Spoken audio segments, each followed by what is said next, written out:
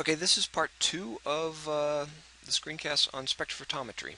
So first we covered mm, basic properties of light, what gives molecules their color, how we can use that to uh, determine, you know, their, how we might use that in a spectrophotometer, uh, and how spectrophotometers work. And now we're going to talk about the theory behind spectrophotometry so you can have some equation to relate the intensity of light to the concentration of your molecule of interest within a sample. So a lot of uh, what I talk about and the simulations that I'm going to talk about may be found on my website there. Let me get my pen. Right down there. so, as well, this is what you'll do most of the time in your career as an engineer or scientist. You'll start by defining a control volume. So we are going to define the volume as this poorly drawn cube, which looks much better there.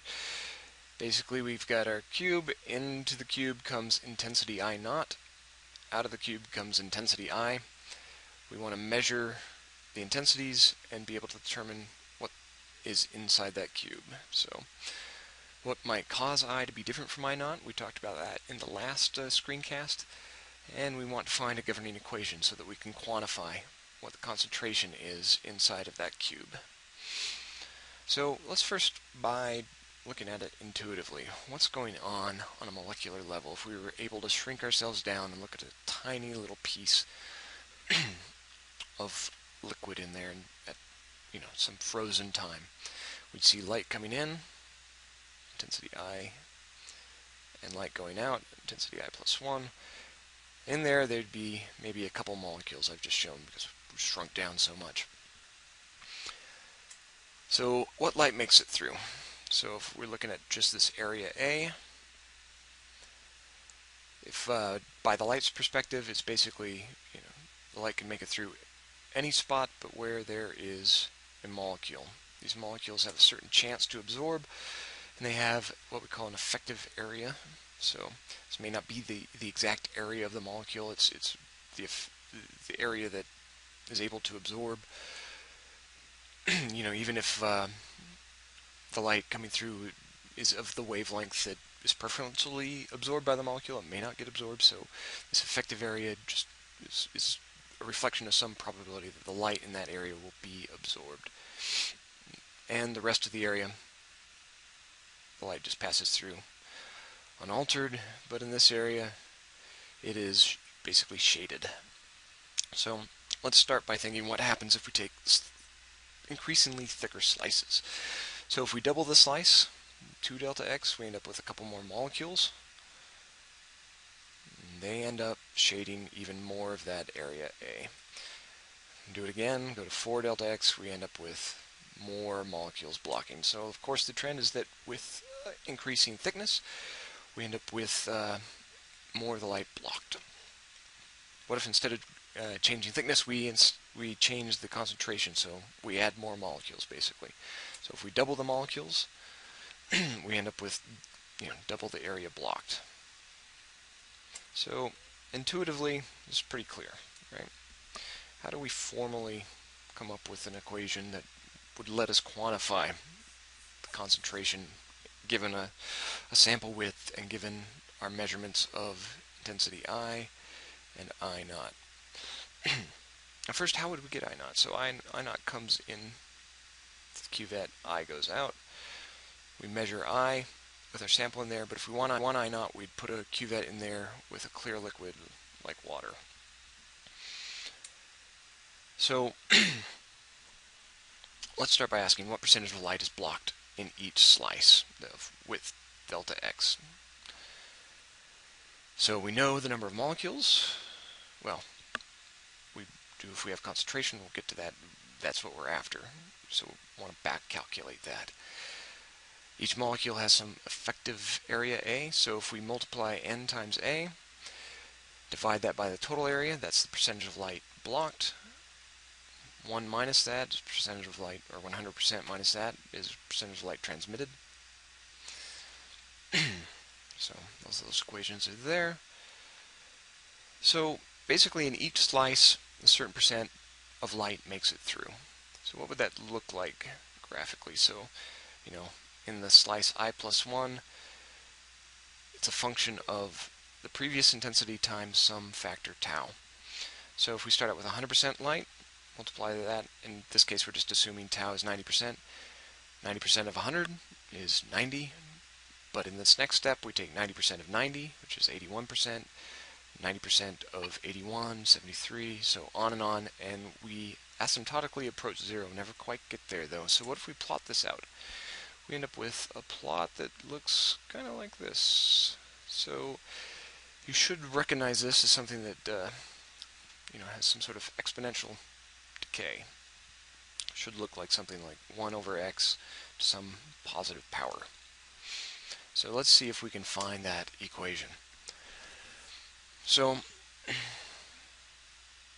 if we look at that area again, we start with you know knowing that that much of light is transmitted and that much is absorbed, we can come up with you know basically that equation that intensity at i plus 1 equals intensity at i times the percentage transmitted. Use a little algebra to rearrange because we want this in terms of the change in intensity because that is ultimately what we're going to have when we do our measurements. so we know the change in intensity through a slice equals the intensity entering the slice times the number of molecules there, their effective area, and divided by the total area. We want this in terms of the change in thickness and concentration because we are after concentration and we can measure thickness. So this, there's the equation we start with. Let's first ask ourselves what is n? What is the number of molecules inside this volume? there. Uh,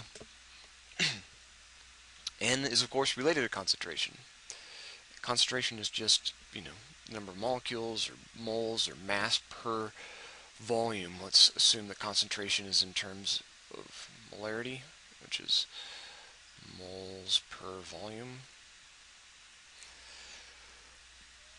So in that case, we need to use Avogadro's number right here, which gives us the number of molecules per mole. So the number of molecules in that space equals Avogadro's number times the concentration, which is moles per volume, and then we need to multiply it by the volume of this cube. So what is that volume? That volume is basically defined our problem such that it's pretty easy. It's just that area times the thickness, delta x. So if we substitute in this equation and this equation into this equation, then we do a little algebra. We end up with the following. So the change in intensity equals the original intensity, negative original intensity, times uh, the uh, effective area of the molecule times Avogadro's number times the concentration times the thickness, delta x. okay, I'm back. Um, so what now? We've got our equation in terms of difference in intensity, difference in thickness. Now we need to do a little trick of calculus. I assume, no, pretty sure you're all in calculus or you have taken calculus. So this should be familiar to you. We're just going to take the limit of that thickness, delta x, as it goes to zero. So we're going to make these slices infinitesimally small, and that causes us to get an infinitesimal difference in the intensity and in the thickness. So now we're getting close to the point where we can uh, get a continuous equation. But before we do that, we need to separate our variables, which means we need to put the i's with the i's and keep the x's on the other side. So we do that, separate our variables, and what's next? We need to integrate. So that's what we're going to do. We're going to integrate over the total width of the sample, so from 0 to w. And as we go from 0 to W, the intensity of light goes from I naught to I. So we integrate that equation with these limits on our integration.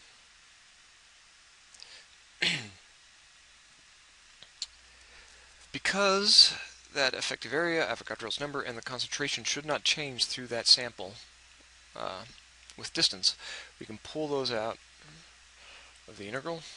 We end up with a pretty simple equation. I hope you, uh, well, all of you should certainly know how to do this one. You Should probably remember how to do this one, but let's just cover it quickly. What is the integral of dx over x? And the integral of dx is just x, but the integral of dx over x is the ln of x. So natural log, so if we have x2 minus x1, it ends up being x2 over x1, the ln of that. And that one's pretty simple, it's just x2 minus x1. So if we use these equations in here, we end up with the following. Natural log of intensity over intensity naught, I naught, I, equals the width of the cuvette times basically a constant. And we've done nothing new, really. We've uh, just discovered Beer's Law. So you can read up on Beer's Law on the Wikipedia page if you wish. But Beer's Law is typically stated like this.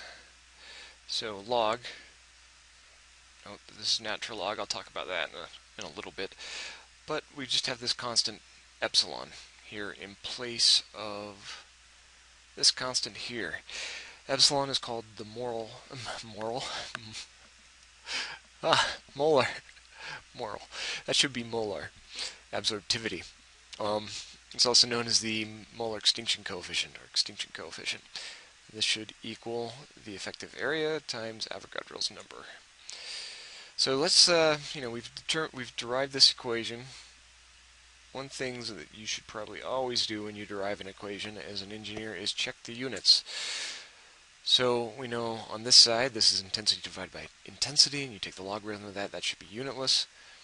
Here we know that is area per molecule, effective area per molecule.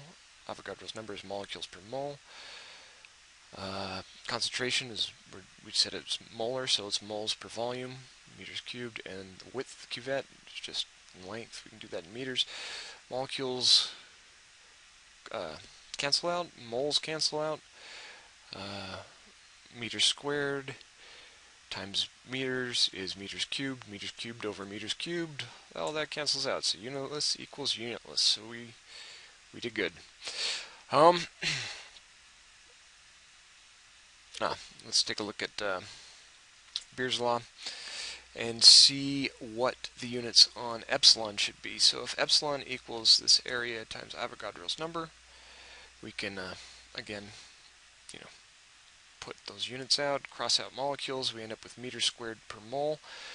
Um, this is, if we multiply the top and the bottom just by meters, we can end up with our 1 over molarity over distance. So that will cancel out with our concentration times width. So that equals unitless too. So we are right. So just so you know, that epsilon can hold a conversion factor from the natural log to log base 10. Typically for liquids, Beer's law is in base 10. For gases, it's natural log. I wish it was all in natural log, but such is science. It is not. so we've we've come up with our equation. We know I naught. We can get that. We know I. We know W. If we know molar absorptivity, we can get concentration. So let's do a little example. Let's say that we have a spectrophotometer and we make a 1 times 10 to minus 5 molar calibration solution, malachite green in water. We know it's uh, 1 centimeter long. We put pure water in the cuvette. We end up with 4 volts in our detector. But with the calibration solution, we end up with 2 volts. With an opaque solution, so no light makes it through, we end up with 0 volts and we know the uh, the response is linear linearly proportional to the light intensity. So effectively, our volts our volt you know two volts divided by four volts is going to be our intensity uh, coming out divided by intensity sub zero. If we uh, and now we want to know what is the extinction coefficient of malachite green. So let's do part A first. We uh, start with Beer's law. We're doing it with base 10 here.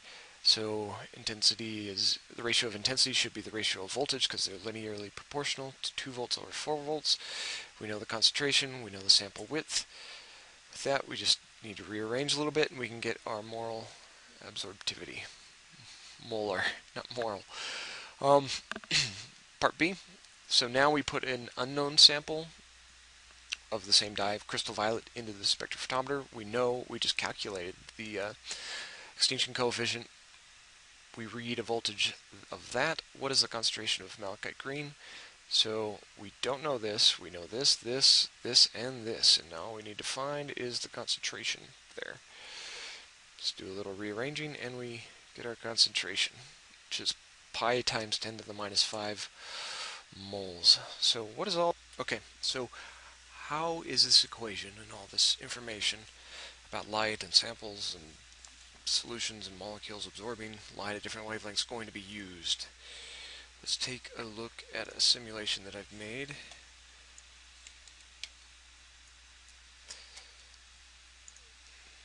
So here we've got our light, our cuvette, our detector.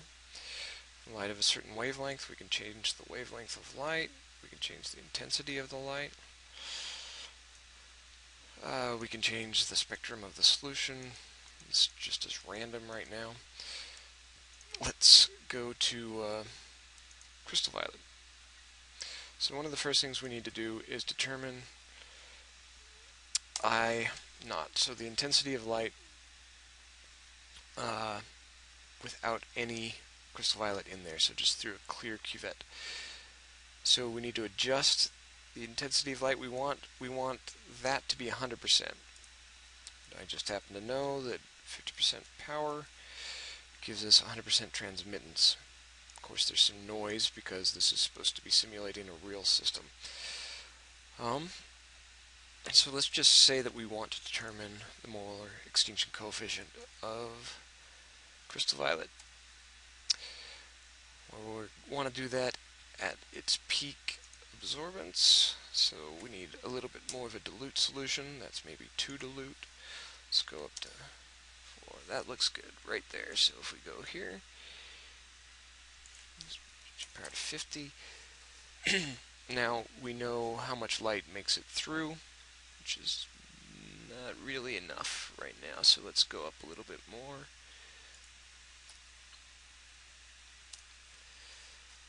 Yeah, so you can see if we change the concentration, we change the amount transmitted. the other thing we can do, particularly with something like violet, let's go back up to 5, is react it with sodium hydroxide. So here we have A plus B goes to C. First order reaction. This is what we're going to actually do with your spectrophotometers that you make. We're going to do this in the lab. So I'm going to start this reaction. You can see the transmittance starts to go up, absorbance goes down, and because we know the molar extinction coefficient, we can calculate the, the concentration. It looks something like this, which again looks like an exponential decay. If we take the natural log, ends up being a straight line, and we'll talk about why that is in class. And that concludes that